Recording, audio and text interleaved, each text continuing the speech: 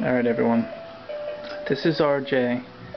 The first time we've successfully put him in his rocker, his little swing, and he has not screamed. So he seems pretty excited, so let's kind of get a little closer and see what's going on. We gotta be really careful folks, because he might freak out. Uh-oh, I think he sees me. He's supposed to be looking at the little animals. There he goes.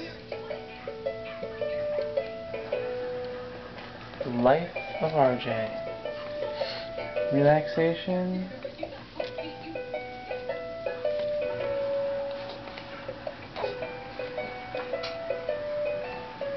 Well, I hope you like this, RJ.